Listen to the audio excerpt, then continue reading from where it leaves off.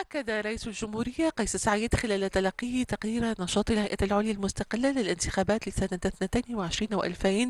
والتقرير المالي للسنة نفسها من رئيس الهيئة. أكد ضرورة ترتيب النتائج القانونية عن كل إخلال بالقانون سواء في مرحلة تقديم الترشحات أو أثناء الحملة الانتخابية أو يوم الاقتراع وضرورة تعاضد جهود الجهات المعنية في الدولة إذ من غير المقبول أن يتقدم مترشح للانتخابات وهو موضوع حكم غيابي من أجل الانتماء إلى تنظيم إرهابي دون أن يدرج هذا الحكم في بطاقة السوابق العدلية. وفي لقائه برئيس الهيئة الانتخابية تم النظر في مسألة تمويل الحملات المشبوهة وأفاد رئيس الجمهورية أن المال الفاسد ومن يمتلكه يريدان التسلل إلى مكاتب الاقتراع وأن الانتخابات لا يمكن أن تكون نزيهة إلا بالتصدي للفاسدين الذين ما زالوا يعتقدون أنهم قادرون بكل الوسائل على توجيه الناخبين إذ الأخطر من تزوير النتائج تزوير العقول عن طريق الأبواق المسعورة المأجورة لتوجيه الرأي العام وبث الإشارات الإشاعات والأكاذيب.